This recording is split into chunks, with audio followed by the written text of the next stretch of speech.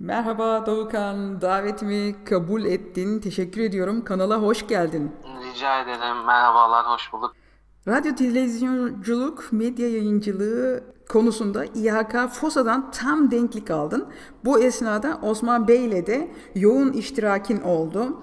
Nasıl başladın Aynen bu yolculuğa? Nasıl bitti? Kendini tanıtarak denklik sürecini bize anlatabilir misin? Türkiye'de radyo televizyon okudum ön lisans olarak iki yıllık. Daha sonrasında bu tabii göç yasasıyla beraber de bir Almanya'ya gelme e, niyetimiz oldu. Buna karşılık da denklik yaptırma gerekiyor tabii ki yasadan faydalanmak için. Bu sebepten ben de evraklarımı hazırladım ve denklik işlemlerime başladım. İHK'da e, evraklarımı gönderdiğimde de şansa Osman Bey benim danışmanım olarak atandı. E, çünkü orada farklı farklı danışmanlar da olabiliyor. E, ama tabii bir avantaj oldu, çok büyük bir avantaj oldu Osman Bey bizim işlemlerimizi yapıyor olması. Nisan'da evrakları gönderdim postayla. iki gün içinde ulaşmıştı. Ama da tam pandeminin ortasına denk gelmişti. Yani süreç çok uzadı. Çünkü İHK'nın resmi sitesinde de zaten 3 ay içinde diyor işlemleriniz sonuçlanır. Tabii aksi durumlarda uzayabilir diyor ama genelde 3 ay içinde sonuçlanır diyor sonucunuz. O benimki 6 ay buldu. Mayıs ayının başında benim evraklarım içeriye girmişti. E, işte tabii ödemesini falan da yaptık. Benim Ekim'in 15'inde sonucum geldi. Full denklik olarak sonuçlandı. Dediğim gibi yani bir 5,5-6 ay kadar sürdü. Ama nihayetiyle de sonuçlandı diyelim yani çok şükür. Evet Osman Bey'de daha önce yaptığım videolarda bahsetmiştim. Yorumlar kısmında da yazıyorum. Özellikle korona esnasında büyük yoğunluk olduğunu söyledi. Tam denklik almanın sebebini biliyor musun? Ön lisans e, programından mezun oldun diye biliyorum. Ön lisans bitirdim. Ben normal lise çıkışlıyım bu arada yani düz lise çıkışlıyım. Herhangi teknik lise okumadım. E, düz liseden e, işte bizim zamanımızdaki ÖSS sınavıyla puanını kazanarak üniversiteyi kazandım 2 yıllık. İHK ile yaptığım görüşmelerde benim Osman Bey'e ulaşmam biraz zaman aldı. E, çok kısa da oraya değineyim. Ben bu denklik işlemlerine ilk başladığım zaman Anerkennung in Deutschland'dan baktığımızda tabii fotoğrafçılık ve kameramanlık olarak oradaki o portalda mesleğinizi seçerek ilerlediğinizde ben de gerçi eksik bilgiden kaynaklı bir hataya düştüm. Denklemin esnaf sanatkarlar odası gibi diyelim o işte Handwerkkammer ya da belki yanlış telaffuz ediyor olabilirim. Doğru Handwerkskammer. Evet oraya o o defa o kurumla yapıldığını eyalet bazında o, kurum, o kurumla yapıldığı bilgisine ulaştım. Daha sonrasında tabii bir e, kendimi tanıtan bir mail atarak e, kendilerine İngilizce böyle bir vize olduğunu, ona başvurmak istediğimi ve işte mesleğimi e, onlar vasıtasıyla denkleştirmem gerektiğini öğrendiğimi ve e, ne şekilde bir yol izlemem gerektiğini, hangi evrakları toplamam gerektiğine dair kendilerine bir mail attım. Onlar da dönüş yaptılar. Dediler ki işte şu şu şu şu evrakları toplamanız lazım. İşte diplomanız, CV'niz, özgeçmiş, işte e, referans mektupları gibisinden. E, bunları kendilerine gönderdim. Biz inceleyip size döneceğiz dediler. Yaklaşık 2-2,5 ay boyunca kimseden bir dönüş olmadı. E, birkaç sefer mail attım. Bir, birkaçı cevapsız kaldı. Birkaçına işte dönüş yapacağız, inceliyoruz gibisinden cevaplar geldi. Burada konsolosluğa sordum. Ya dedim hani böyle bir durum var. Ben cevap da alamıyorum. Evraklarımı gönderdim ama işte ne, nereden tam denklik yapmam gerekecek ya da nasıl olacak bu iş? Konsolosluk bana daha komik bir şey söyledi. Siz hiç başvuramazsınız dedi. Nedenini sorduğumda çünkü ön lisans mezunu olduğunuzu ve işte ön lisans mezunlarının bu iş arama vizesinden faydalanamayacağı e, gibisinden bir e, yazı belirtti. Bir mail attı konsolosluk. E tabii bir, bir hüsran olduk yani bir, bir kafamız da karıştı açıkçası ama yani e, daha detaylı sonra eksik bilginin önemi burada ortaya çıkıyor. Mümkün olduğu kadar doğru bilgiye ulaşmak lazım. Burada hemen bir parantez yani gerçekten bir... açmak istiyorum Doğukan. Evet, Kanalda e, Almanya'da denklik mercileri denkliğimi nereden alayım diye bir video var. Ona bakmanızı tavsiye Hı-hı. ederim. Yani orada Handwerkskama dediğimiz esnaf ve zanaatkarlar odası ile İHK denilen yani sanayi ve ticaret odası arasındaki farkı ve hangi mesleğin hangi merciden denklik alacağını anlatmaya çalışıyorum. O videoyu izlemenizi ya da denkliğini almamış arkadaşların, başvuruda bulunacak arkadaşların izlemesini tavsiye ederim. Evet kesinlikle. Ben tabii bu işlemleri bitirdikten sonra izledim. Bilgiler doğru ama tabii ben bu işlere başladığımda yoktu böyle kaynaklar. Çok zor bilgi ediniliyordu. Dolayısıyla yani konsolosluktan da böyle mail alınca ben daha sonra Make It in Germany diye bir site var. Bunu siz de paylaşmıştınız kanalda daha önce. Orada biraz araştırma yaptım. Sonra burada baktım ki yok hayır yani e, sizin dediğiniz gibi ustalık kalfalık belgeleriyle bile başvuru yapılabiliyor. Yani en azından bir kalifiyeliğinizin olduğunu e, belgeleyen bir evrak var ve bunu denkleyebiliyorsunuz. Böyle bir hakkınız var. Orada bir kuzenim var. Onun biraz yardımlarıyla biraz kendim araştırarak o portaldaki kişilerin, o Make It in Germany'den mail attığımızda dönen kişilerin yönlendirmesiyle İHK'yı bulduk. Bu arada bir de şöyle bir durum oldu. Bu e, Hansberg Kamer'den mail gelmeyince ben kuzenimden rica ettim. Kendisi sağ olsun oraya gitti. Oradaki yetkililerle görüştü. Onlar da orada demişler ki yani pardon e, biz bunu yapmayacağız. Sizin ilk mailinizi karşılayan arkadaşımız burada yeni işe başlamış birisi. O da konulara tam hakim değil. Dolayısıyla sizin işleminizi İHK FOSA yapacak. Ben aynı anda iki farklı noktadan yani hem e, beni yanlış yönlendiren kurumdan hem de Make It in aslında doğru adresin, benim için doğru adresin İHK FOSA olduğunu öğrendim. Daha sonrasında ben evraklarımı gönderdim. Sonra Osman Bey'den bana bir dönüş geldi. Dosyanızı aldık, işleme başlıyoruz diye. Burada tabii Osman Bey'in ne kadar gerçekten bizler için çok çaba sarf ettiğini daha önce sizin de söylediğiniz gibi de kanaldaki röportajında da bahsettiği gibi yani gerçekten ve benim de yaşadığım bir takım sıkıntılar oldu bu süreçte eksik evrak olarak. Sanıyorum Osman Bey'den başka birisi olsaydı e, belki de ben bu sonuca erişemezdim. Pandeminin tam ortasıydı. Bir takım çevirileri yaptıramıyorduk çünkü yani noterler kapalı, tercüme ofisleri kapalı yani online olarak gönderiyorsunuz çeviriyorlar ama notere onaylatamıyorsunuz gibisinden sorunlar vardı. Evrağı da göndermem gerekiyor artık. Çok da süre geçti. Vakitte e, kaybetmek istemiyorum daha fazla. Staj evrağınızı Türkçe gönderdiniz. Bunu ben çevirisini ben yapıp kabul edebilirim. Ama dedi diplomanızı maalesef dedi çevirmeniz gerekiyor. Bu arada da şansa tabii kısıtlamalar biraz rahatladı. Ben sadece diplomamı translate ettirdim ve e, onu tekrar mail ortamında gönderdim. Daha sonrasında da Osman Bey işlemleri halletti. En büyük faydası bana şu oldu. Denklik için sunmanız gereken evraklardan biri şu. Detaylı olarak hangi dersi eğitim süreniz boyunca kaç saat aldığınız yani ders programı gibi haftalık 2 yıl okudunuz. 2 yıl boyunca hangi dersi kaç saat eğitim aldınız ve onun sonucundaki sınav sonucunu sizden istiyor İHK FOSA. Bunu diyor belirtmeniz gerekiyor ama Osman Bey de bana bunu dedi ki yani burada dedi okulun dedi inisiyatifine bağlısınız. Bunu dedi eğer verirse okul verecek yani onlardan isteyin. Eğer dedi vermezlerse de ben dedi bir konu biraz dedi yardımcı olmaya çalışırım ama şöyle ben diplomamın yanında bir de diploma eki dediğimiz diploma supplement gönderdim. O olmasaydı zaten hiç yapamıyordum. Çünkü orada da biraz e, benim derslerimin notları, iki yıl boyunca totalde kaç saat eğitim aldığım gibi bir İngilizce, üniversitenin hologramlı onaylı bir kağıdıdır bu. Çoğu üniversitede de veriliyor zaten. Ben onu gönderdiğim için Osman Bey de söyledi zaten. Yani e, evet sen okuldan detaylı ders analizini alamadın ama hani diploma suplementin var.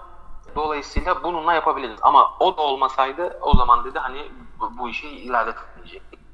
Üniversiteye tabii ben mail yazdım. Sağ olsunlar dönmediler. Daha sonrasında telefonda falan aradım. Tabii biraz vakit de geçti biz mezun olmamızdan.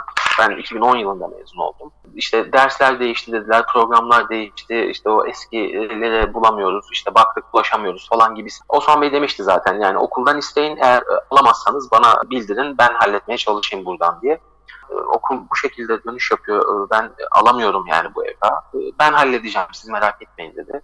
Ondan sonra da sağ olsun e, gerçekten çok yoğunlar. Yani iki, iki, iki ay, iki buçuk ay kadar daha hiç konuşamadık kendisiyle. Hatta mail attım ona bile cevap alamadım. Sonra kendisi aradı dedi ki ya dedi ben hiç böyle bir şey yapmam normalde maillere mutlaka cevaplarım ama hani tahmin edemezsiniz dedi burada çok yoğunuz dedi. Peki o Ama, belgeyi e, nasıl halletti acaba Doğukan? Az önce okuldan istediği belge halledeceğini söyledi dedi. Evet onu ben halletti? anladığım kadarıyla şöyle e, şimdi diploma gönderiyor, gönderdim ben.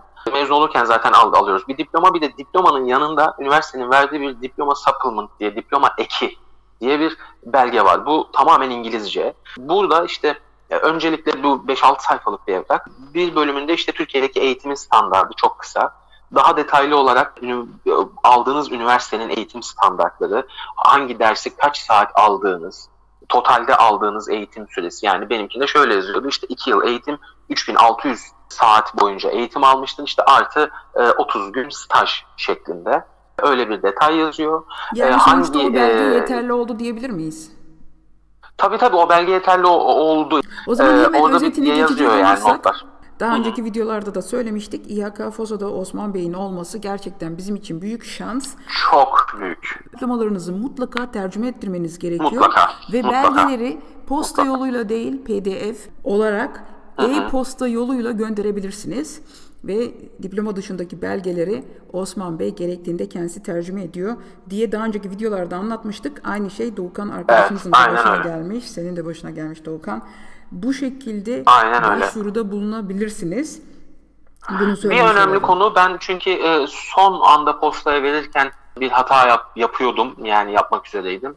Göndereceğiniz postayla göndereceğiniz evrakların mutlaka e, başvuru antrak dahil yani başvuru formu dahil hepsinin renkli kopya olma yani fabrik kopya olması lazım. Ben e, orayı atlamışım yani normal çıktılarını alarak gidiyordum. Son anda yaptığım kontrolde bir ortaya çıktı. E, gönderdiğiniz evrakların renkli kopya olması lazım postayla gönderdiklerinizin. Daha sonra mail olarak eksik evrak kalırsa zaten Osman Bey ya da oradaki yetkili size dönüş yapıyor. Yani şu şu şu evrak da lazım diye. Ama Onları postayla, daha sonra internetten gönderebiliyorsunuz. Evet ama postayla başvuruda bulunmanız gerekmiyor. İlk başvurunuzu da e-posta üzerinden yapabilirsiniz. Bu büyük kolaylık hem ellerine evet. geçtiğini görmüş oluyorsunuz. Diğer türlü tereddütte olan arkadaşlar oluyor. O yüzden e-posta yoluyla başvuruda bulunmanızı tavsiye ederiz. Peki tam denklik konusunda ne düşünüyorsun Doğukan? Daha önce elektronikçi arkadaşları kanalda misafir ettik biliyorsun. Kısmi denklik almışlardı. Evet, evet. Bir arkadaşımız var elektrikçi. Elektronikçi değil elektrikçi. Ona da tam denklik verdiler. Sen ne düşünüyorsun? Sen de tam denklik aldın. Yani e, tabii çok benim için iyi bir şey bu. Zaten hani en temelde böyle olmasını istiyorduk. Ben 6 aylık iş arama vizesiyle e, gitmeyi düşünüyorum Almanya'ya. Daha sonrasında orada bir iş bulabileceğime inanıyorum en azından. Bu 6 aylık iş arama vizesini alabilmenin ana e, kıstası tabii ki full denklik almış olabilmek. E, bu anlamda tabii ki de mutluyum. Ama niye tam denklik e, aldın? Bunu yorumlayabiliyor musun? Niye acaba diğer arkadaşlar? E, o, o, o, o şöyle Osman Bey ile telefonda da ben bunu sormuştum.